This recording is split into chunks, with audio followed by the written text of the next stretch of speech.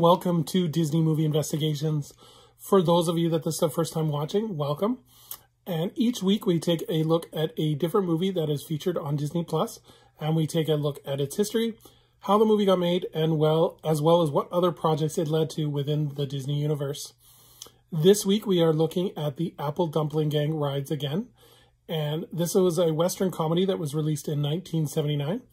And stay tuned because we are also going to look at a former Disneyland attraction called Big Thunder Ranch. So sit back and enjoy this week's Disney movie investigation. And if for those of you that are enjoying these videos, please hit that subscribe button so it can help more people discover this channel, as well as you won't want to miss any of our upcoming case files. So like I said, this week we are taking a look at the Apple Dumpling Gang rides again. Uh, so this movie was released on June 29th, 1979, and it was directed by Vincent McEveety, and it was written by Don Tait. And I couldn't find the budget, but the box office return was $20.93 million. So in terms of the cast, we have returning characters Don Knotts, who plays Theodore, and Tim Conway, who plays Amos. Joining the cast in this movie is Kenneth Mars, who plays Marshall Wooly Hillcock, Tim Matheson, who plays Private Jeff Reed, Eliza Davalos, who plays Miss Millie Gaskill, and Richard X. Slattery, who plays Sergeant Slaughter. In terms of the plot, Amos and Theodore are two bumbling outlaws, wannabes from the original Apple Dumpling Gang, and they're back, and they're trying to make it on their own this time. When they arrive at the town, all, the, all the sorts of things goes awry. They accidentally subdue the town's legendary lawman, Woolly Bill Hillcock, thus enraging him into tracking them down. They are also accused of bank robbery, and in order to escape, they enlist in the army, but unfortunately, they burn down the fort. Amidst all this, the army is besieged by someone who is stealing all their supplies and doing damage. So there wasn't a lot of production history with this that I could find. Um, I believe this was a quick turnaround in terms of because the original Apple Dumpling Gang was released in 1975, and then this was released in 1979. So if you think of filming filming time and the whole process, very quick turnaround from original to sequel. Um, Disney's marketing department, though, did add a sticker to the poster that said all new on it. And I think this was probably done so that they could differentiate the fact that this was an all brand new movie. Because at the time, Disney was part of their Vault program is they would re-release movies into the theaters every seven years. So the original film of the Apple Dumpling Gang and the poster for the Apple Dumpling Gang Rides Again are both very similar. So they added this sticker to differentiate and make sure that people were aware that this was a brand new movie.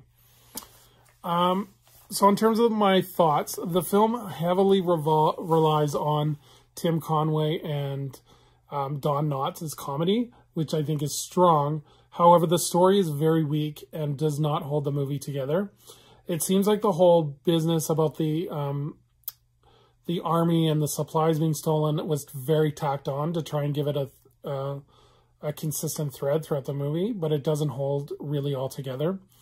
Um, the the plot does seem very disjointed as we're kind of floating from scene to scene to scene, most of it involving uh, Amos and Theodore's different uh, adventures throughout the West. Um, this movie was released at a time where Disney was kind of just releasing movies to try and see what stuck. Um, they weren't uh, necessarily um, having a string of hit movies, so they were just kind of releasing things and they were trying to find their footing. Because um, this was also um, about 12 years after Walt died, so the company was kind of almost like a ship without a rudder. Um, I have a feeling that this movie was originally intended to be the television story, the television series that we talked about um, on the Apple Dumpling Gang video, where um, they released a television series right after the, the, the movie. And I think this was originally what this was intended for, because it does seem like a lot of mini episodes that are kind of patched together with a very uh, shoestring, shoestring type plot. So I would say if you choose between the Apple Dumpling Gang and the Apple Dumpling Gang Rides Again, the Apple Dumpling Gang is a much stronger movie, in my opinion. Um, so that's pretty much it for the Apple Dumpling Gang Rides Again. Again, there's not much to it, unfortunately. Uh, but I thought I would talk about um, a ranch type attraction that was in Disneyland called Big Thunder Ranch. Um, so Big Thunder Ranch opened on June 22nd, 1986. And this was the idea of Dan Stark, who at the time was the area manager, the supervisor manager of Circle D Ranch. And for those of you that don't know what this is, Circle D Ranch is the Disney's off-site filming ranch, as well as they hold the horses there and um, other special events. Events they use it a lot for filming. They rent the the Circle D Ranch out for um, for different studios as well. Like it's a huge filming location.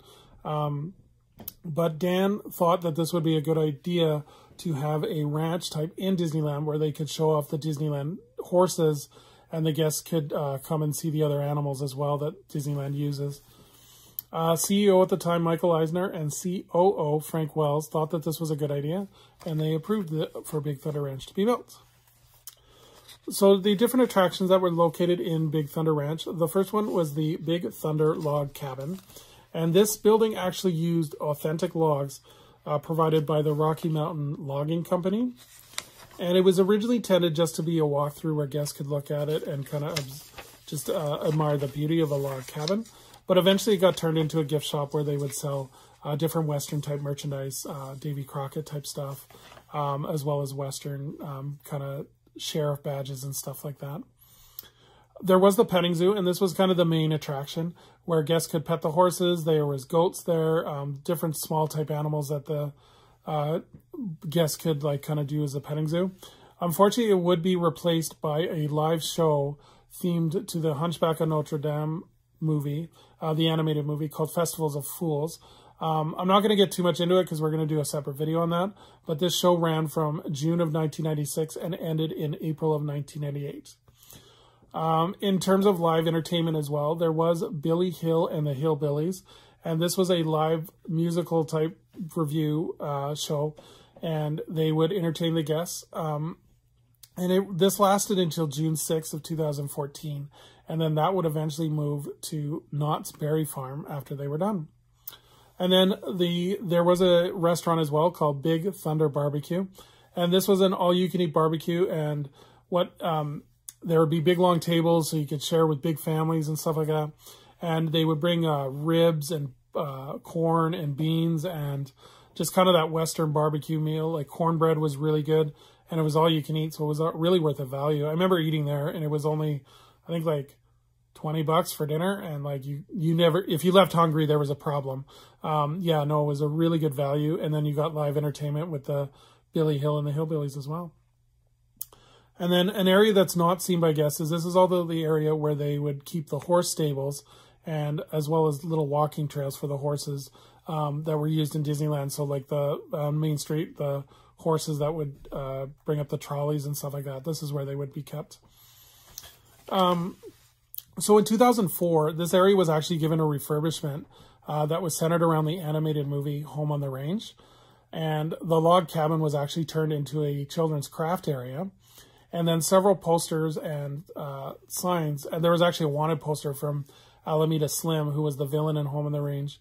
And um, uh, there would be posters and signs all over the place showing the different characters. And then music from the film as well uh, was uh, piped in throughout the, the ranch area as well. And yeah, um, there were seasonal decorations as well. Like they would change the decorations depending on the time of year it was. Uh, so for the summertime roundup is what they called it. There would be summer flowers, eagles, and red, white, and blue motifs. In autumn, they would have flat flowers, carved pumpkins, orange, brown, and yellow motifs. In winter, they would have snow, as well as red, green, and blue color motifs. And then finally in spring, they would have spring flowers and baby animals, as well as purple, yellow, and green motifs. And then other seasonal events would, uh, would be held in this area as well, um, including holiday themed shows. Like during um, the 4th of July, they would have Woody's All American Roundup. Um, and then in Halloween, they have would have Woody's Halloween Roundup. And then at Christmas time, they would have Santa's Reindeer Roundup. Um, so this uh, this area was very, very popular. However, in 2015 at the D23 Expo, Disney announced that Galaxy's Edge, a Star Wars themed land, would be headed for both Disneyland and Walt Disney World. And uh, on January 11th, 2016, Big Thunder Ranch unfortunately closed so construction could be, begin on Galaxy's Edge.